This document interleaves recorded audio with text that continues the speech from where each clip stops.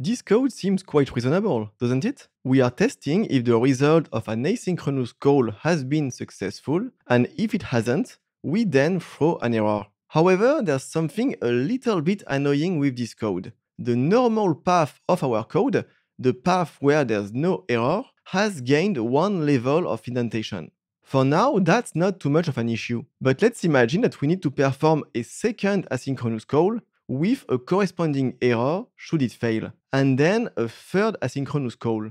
With every new call, the main path of our code gains a new level of indentation, and it's starting to hurt its readability. Even worse, as the code grows, it's also becoming increasingly harder to correctly match each else clause with its corresponding condition. The good news is that Swift has the perfect syntax to solve both of these issues. When dealing with conditions that trigger an early return, it's better to replace if statements with guard statements. The code still does the exact same thing, but now the normal path has become much easier to follow and it has also become much simpler to match each error with its associated condition. That's all for this video. If you've enjoyed it, remember to subscribe so you don't miss the next one. Thank you for watching and see you next time.